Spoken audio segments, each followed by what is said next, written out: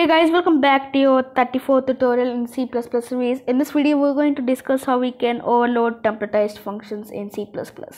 In the previous video, we have learned how we can create an template and we also learned how we can use them in our functions. In this video, we're going to discuss how we can overload an templatized function in C++. Here I have created a little function or little program to swap any values of any two numbers. Now what I want to do is I want to take any two arrays and swap all the values of those two arrays. Now we can't do that work with this reverse numbers function because it's going to take only two numbers as arguments. But what we can do is we can take the reverse number function as a copy and then we can pass the arguments as arrays and then we can you know swap all the values in those two arrays. So in order to do that first I'm going to create an template. So I'm going to say template and it has an type name of t and then I'm going to create the void function. So void reverse numbers which means we are creating the same copy of our function which is reverse numbers. And then I'm going to pass three parameters the first parameter is the first array so i'm going to say t array a which is the first array and then t array b which is the second array and then the next one is the size so int size. And then what we're going to do is we're going to use an for loop. Now before doing that i want to talk why we need this size variable. Now we need this size variable because we need to track the number of elements in this array a and b so that we can swap all those values using this size variable. So here i'm going to use an normal for loop in order to iterate through all the elements in this array. So i'm going to say for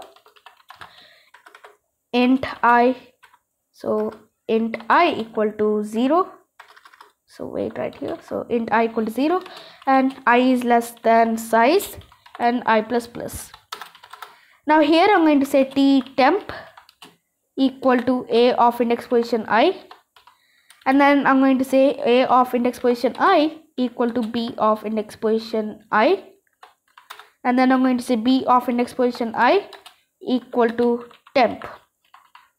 Now what I'm doing right here, I'm creating an temporary variable where I'm going to assign it equal to all the elements in this array A. So what happens is, is going to take all the temporary values or it's going to assign all the temporary values in this array A so that we can assign an array to an array.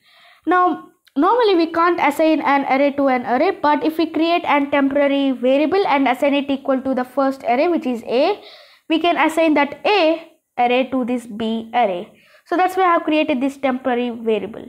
Now this is how we can use this overloading function with using a template. Now what I'm going to do is in this main function, I'm going to create two arrays. So I'm going to say int ones which is going to take all the values as ones because it's going to make some sense if we name it as ones and assign all the values as ones. So I'm going to say int ones and then I'm going to assign values.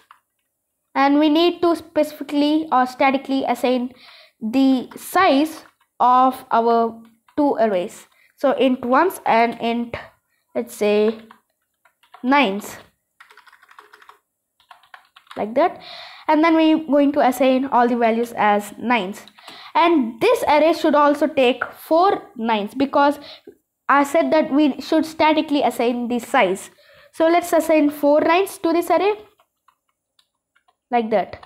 Now what I'm going to do is I'm going to call the function which is the reverse numbers and then pass the first one the first array which is ones second one which is the nines and the second one which is the size of the arrays which is 4 right? This is 4 now we can also store this 4 in a constant variable. So let's create a const variable. So const int. Let's name it as size equal to 4 now what we can do is we can name it as size right here like that. Now what we can do is we can use an for loop in order to swap all those values. So i'm going to say for int i equal to 0 so here i have made an uppercase character. So right here. So for int i equal to 0 and i is less than 4 which is the size of our arrays and i plus plus. Now what we can do is we can swap all those values by saying cout i will say ones of index position i and then i'm going to give and space. And then i will say nines of index position i and then i'm going to give and tab right here and then after the for loop i'm going to use a new line. So cout and a new line. So this is how we can do that. Now let's compile our program. Make sure you're using the c++11 flag while compiling your program. And now you see that it's going to show us 919191 but it's not going to show us the reverse values. Why it's not going to show us? Because we need to print these values once again before calling the function. So what i'm going to do is i'm going to take this for loop right here. And then i'm going to use this after creating this function. So let's do that. And then i'm going to create this variable after this first for loop. Now let's save this program and run it.